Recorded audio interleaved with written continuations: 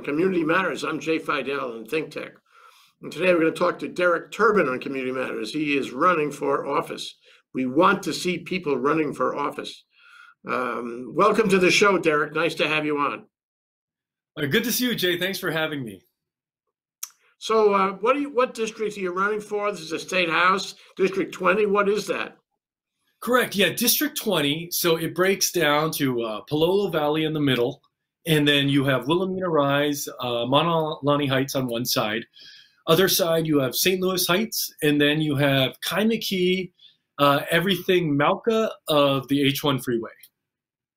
That's a big district, or at least it has a lot of neighborhoods in it anyway.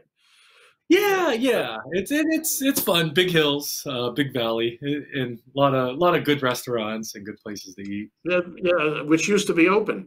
And what about walking? Can you walk? Can you say hi? Can you knock on doors, or is that out of out of bounds now? Yeah, I, I suspended that, um, you know, about three or four weeks ago. Um, yeah, so right now it's kind of a digital campaign, um, social media, emails, sending out a few mailers, um, making phone calls, but fortunately can't go door to door, and due to the shelter in place, can't can't sign wave either. I was doing that for about okay. a week. Um, so, uh, give us a little idea about uh, your background. Who are you? Where did you come from? What are you doing in your in your regular life, your normal life, so to speak? Um, yeah. Tell us who you are, Derek. So yeah, I'm born and raised here. Um, grew up down the street uh, from my district in the Waialae Kahala area.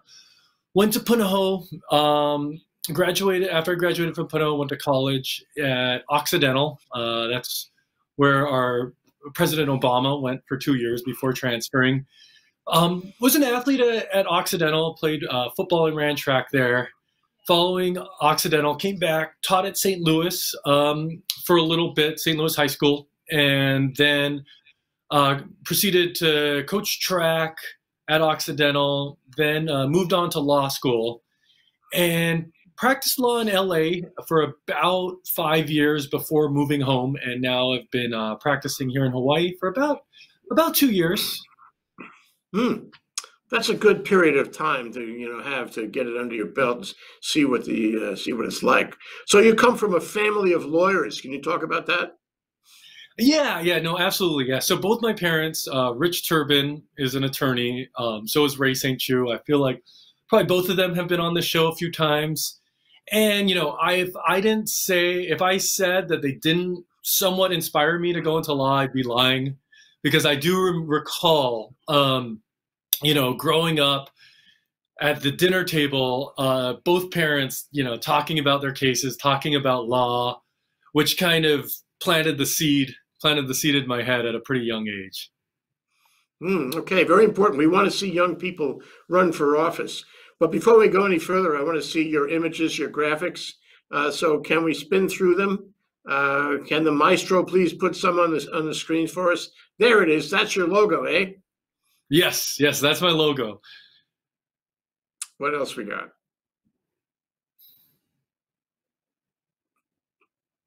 That's it. Oh. No other graphics. Okay. So let's talk about how you how you perform you know, a campaign, how you organize a campaign. Mm-hmm. You have to have staff, you have to have co-chairs and you know all kinds of people that help you and advise you yeah. and make you make you wise uh, on, on, the on the you know the issues and difficulties of running for office in this state protect you against hit pieces and all those things um, so oh, what have yeah. you done to establish your brain your brain trust yeah yeah no that's a great great great question. So starting around is around January when you know really kind of it came up in my heart that I want to run run for this seat. And you know, first thing I did is you know talk to my family and talk to my friends. And and the funny thing is I think I was doing a lot of having a lot of those conversations, reaching out to these people to really get that support I needed, that that that moral support, that encouragement that I needed to know that this is something that I wanted to do. So reached out to a few of my closest friends, um, you know, either from Punahou or just kind of growing up here. Um, and, you know, those close friends kind of formed my team of co-chairs, uh, just kind of go through them. My good friend, uh, Rossi Sokane, he's he's my chair. Um, and then I have another one of my other best friends from Punahou named Jay Hanamura. He's also on my team. There's Todd Yacovelli, Kat Tashner, and my sister, uh, Laurel May Sink. Sink. Those are my um, co-chairs who kind of really give me that that encouragement, that moral support. I can also bounce ideas off of. And then I formed a team of honorary chairs. Those are people from kind of the older generation, more my parents' generation, who provide me with the wisdom, the insight, and almost like a sense of calm um, as I continue to push forward through this campaign. Um, one of my honorary co-chairs is I think your good friend Carol Mon Lee. She's um, she's an she's an auntie to me. We're not related by blood, but you know, just grew up as one of my aunts. Uh, on top of that, you got to take care of her, Derek. She's very important oh, yeah. to ThinkTech. Okay, be nice yeah. to her, will you? Thank you. Okay, absolutely. No, she's awesome, and yeah, she she's actually the one who's really taking care of me. Like when I get stressed out, I call her, and she gives me that nice sense of calm. Then another um, very sage, wise person, Walter Kirimitsu, former president of St. Louis and judge. Um, he actually he hired me to teach at St. Louis, which was my first job out of college. Again, just a great mentor, great sense of calm. Um, then you know, JD. He's Nielsen. going to be on our show this week on on Thursday on the sixteenth. Uh, he's oh, going to be on our show, and he's going to talk about uh, the independent judiciary in our in our country. I'm sure you'll appreciate that. Try to come oh, around that, and watch that one. Yeah. Okay, absolutely. No, I'd love to watch it. Yeah, yeah. So yeah, judge. He was a judge and president of St. Louis. So, you know, great guy. Yeah, and um, great community member, great league leader in the legal com- community, which makes him such a great asset to my campaign. And then uh, J.D. Nielsen, um, another, you know, very wise, experienced uh, person in the um, in the political community, worked on a lot of campaigns. So really great to have her on my team. And then my last um, honorary chair is uh, Dr. Tom Kosasa, another very wise, solid community member to have. Mm-hmm. That's great. So with all these people and all these advisors calming you and you know uh, sort of helping you helping you understand the issues of our time and our in our state, I want to ask you about your your platform. And the 1st mm-hmm. question is, uh, you know, in general, Derek, what do you want to do? Uh, yes, you want to run, but why you want to run? Do you want to? How do you want to change things in Hawaii? How do you want to mm-hmm. participate mm-hmm. in the political process?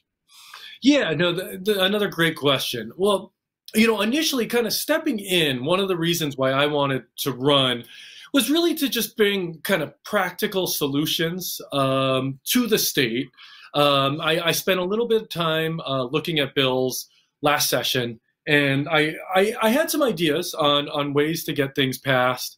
You know, um, a lot of hot button bills that have I think got gotten a little bit stumped um, recently. You know, one of them was uh, the minimum wage bill, and I I followed that bill kind of going through the legislature, and I still I see it get stumped because um, the small businesses are taking a big hit. So I, you know, I had some ideas on, you know, how to raise minimum wage, but also protect small businesses, you know, through some some form of tax credits, taking um, some type of union approach um, to that process.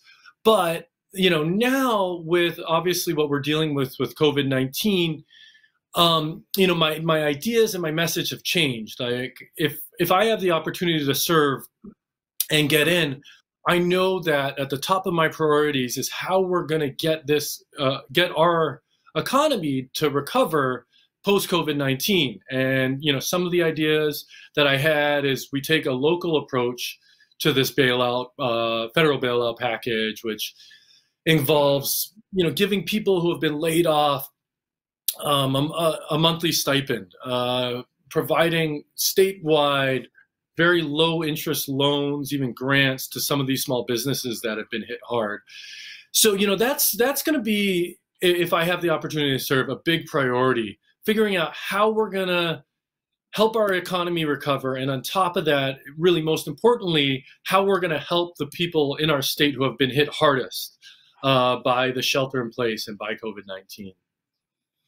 Yeah, you bet. Big issues. You know, you're yeah, you're stepping yeah. you're stepping into a, a, a, whirlwind of planning activity, and it's not clear uh, what we need to do yet. So mm-hmm. uh, if you're elected, you're going to have to face that because that's going to come up right after you take office, and it's going to be a burden on everyone in the legislature. So uh, let me ask you about other issues. Okay, COVID, of okay. course, is very important. Um, but what mm-hmm. about mm-hmm. the, the standard issues that uh, you know people in office always have to wrestle with? What about mm-hmm. homelessness? You got a feeling about that? Yeah, no, absolutely. Um, yeah, I've talked to a few people um, about the homeless issue, and my policy and my way of addressing that is through mental health care. I think one of the big issues that we see uh, with the homeless issue is, you know, the sweeps are happening, the uh, homeless individuals are being asked to move. Um, oftentimes they get cited. They, for reasons we all understand, they, they don't show up to court, they don't pay their fines. Um, so they just move down the street and it turns into a giant game of kick the can. So, uh, what a lot of people have been talking about, which I'm certainly behind, is putting them through a mental health care route. I, have I've worked with some of the homeless people in Thomas Square and through other um, charity groups. And what we need to do is a lot of the times when they get cited uh, for these loitering violations is we assess where they are um, with regards to mental health care and and put them through that mental health care process, whether it's drug addiction, alcohol addiction, or just general mental health, and then from there transition them to um, to to jobs in the society in our community, so we can kind of tra tra uh, transition them, you know, off the streets into into a lot of these shelters, into a lot of these homes through that mental health care process. Yeah, jobs. You say jobs right now. Yeah, there are more people than there are jobs for sure. Um, mm-hmm. And when we start doing our recovery, we're going to really have to think hard about jobs. And yeah, um, yeah. we it, it, all sounds like uh, Franklin Delano Roosevelt and the New Deal, where we have to do public works, you know, the WPA and, and the like. Um, I mean, where where will the jobs come from? Do you have an idea about that? Because I totally agree that we have to take mm-hmm. the homeless and put them in jobs. That's job number one. Uh, that a mm-hmm. pun or what? Uh, and and so, but you know, where do we find the jobs, especially in the duress uh, of the coronavirus crisis? Yeah, well, yeah, and that's that's another great question. You know, one thing is that I've noticed um, through a lot of studies and talking to a lot of people is, frankly, our state offices are understaffed. Um, you know, just for example, um, you know, I, I hear that the DLNR is understaffed. Uh, the Department of Human Services is understaffed. Um, and you know a lot of these other you know statewide departments are understaffed so i think kind of creating synergy there and really working with um, you know the the universities the the, the colleges here um, finding ways to kind of funnel you know recent grads into those positions i think would be a really good way to utilize these open positions um, and you know find jobs for a lot of the people who are who are unemployed. Um, you know, we mm-hmm. also work with you know the a lot of the veterans associations, um, the Army veterans associations, because there's always you know a struggle for you know finding them finding jobs for them as well. So so working with just creating more synergy between the state and our departments, our, our job corps to, to to funnel those workers into there. Yeah, well, you you raise a number of questions spinning in my head right now. I'll try to remember yeah. all the, you know, all the all the the questions you uh, you know made me think about. Um, okay, mm-hmm. so we have we have youth, we have new yeah. entries into the state the state uh, employment system.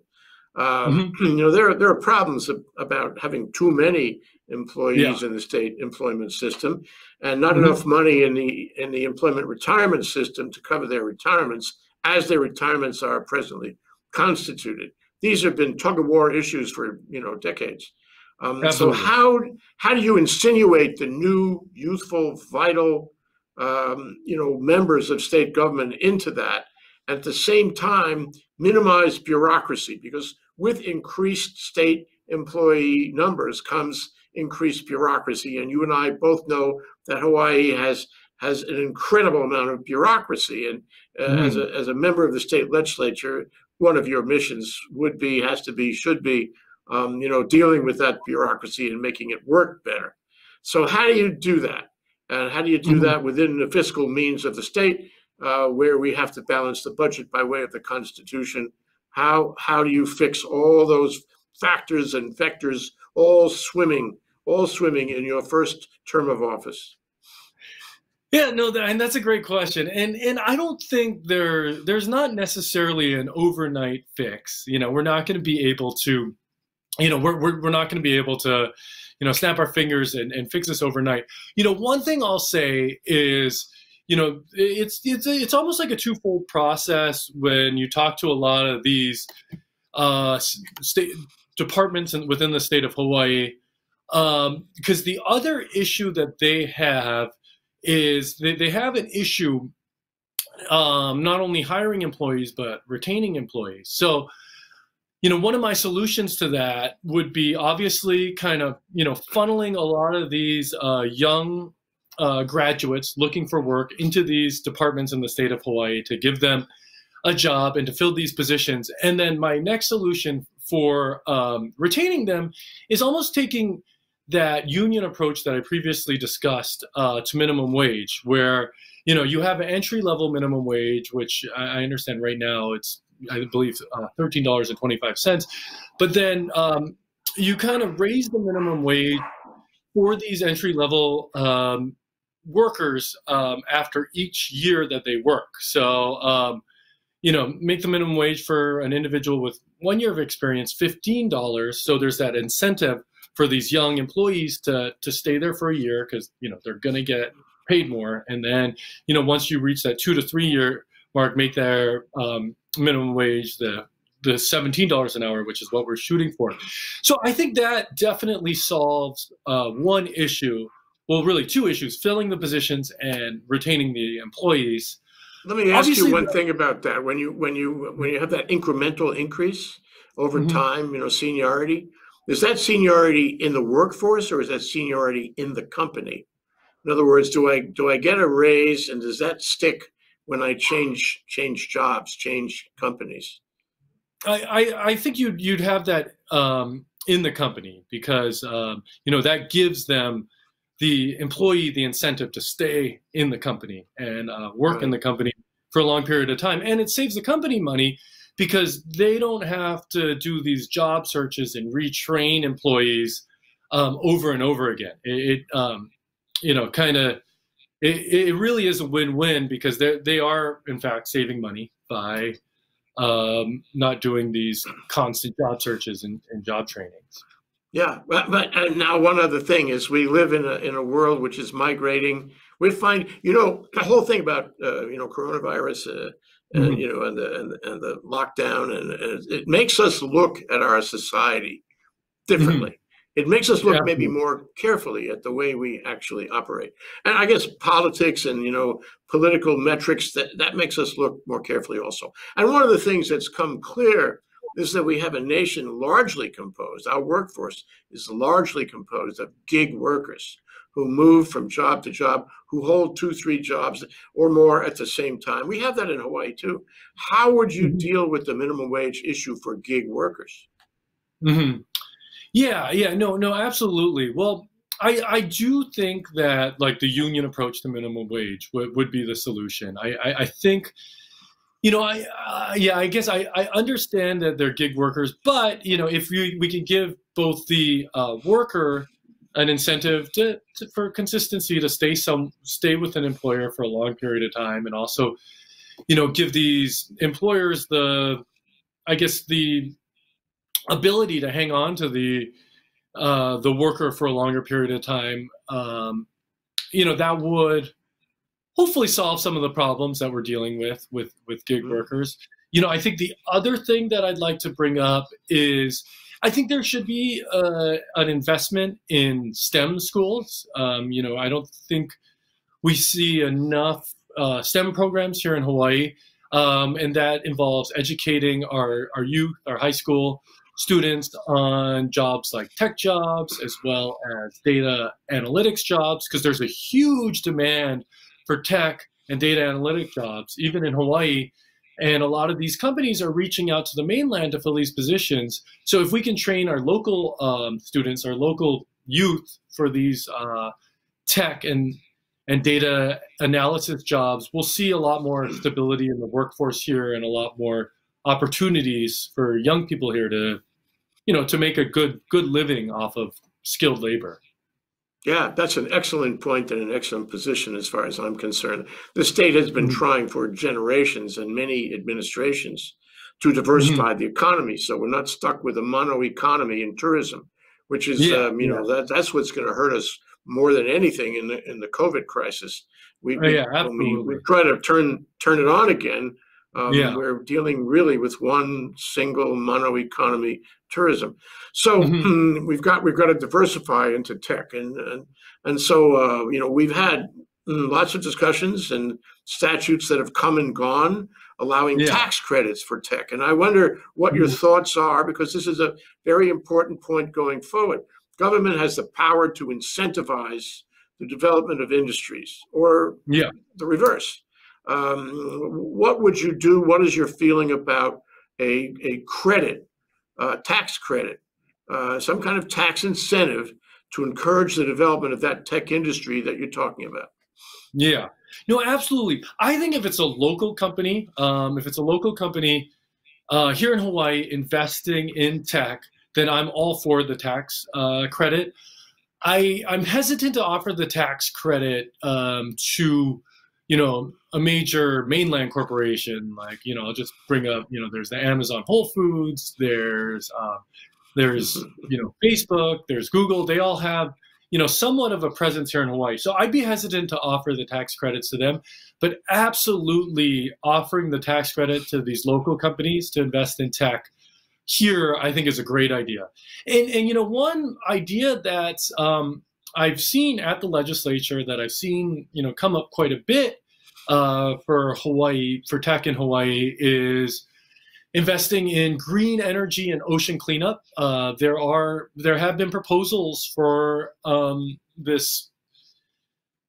Trying to explain it, try to think of how the best way to explain it, but kind of an ocean cleanup where they really kind of pick up trash, pick up disposable waste in the ocean and create that into energy. Uh, and I think that you know that could be a phenomenal idea to to invest in here because you know strategically uh, Hawaii being in the middle of the Pacific Ocean, you know there is that you know it, it's it's very likely to be able to create energy off of the the ocean waste that we see around around Hawaii. So I you know that that's one kind of green tech energy that I could see people wanting to invest in here in Hawaii. Yeah, and you would see uh, tax credits as a way to incentivize that investment and that entrepreneurship.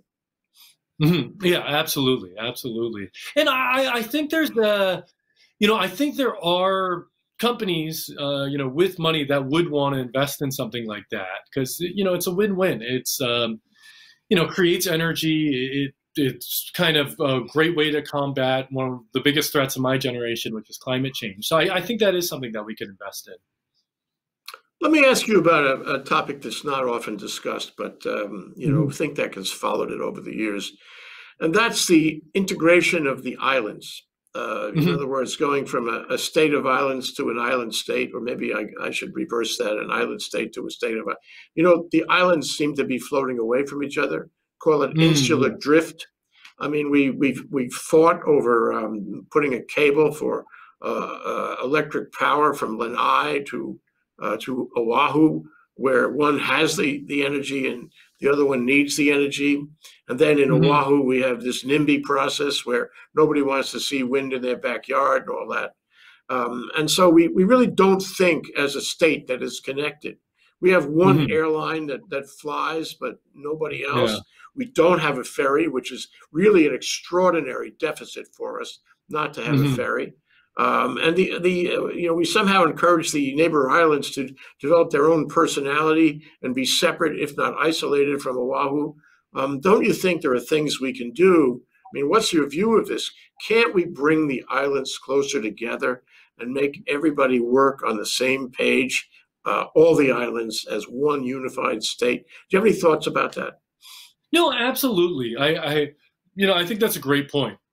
And I, I actually do think that eh, that what you brought up, bringing back some form of the the super ferry would be a great way to you know bring a little bit of unity to the islands like as opposed to paying you know 150 to 200 dollars for a round trip to get, go from here and Maui, here to Maui and back, here to the Big Island and back. You know, let's let's make it simple and accessible, um, and make it something that you don't have to spend two hundred dollars on and, and, and plan weeks in advance. So I I, I think I think what you brought up the uh, the idea of the super ferry going from islands island to island, making it easier to go back and forth, is a great start, and and I think that is a I think that is a great solution.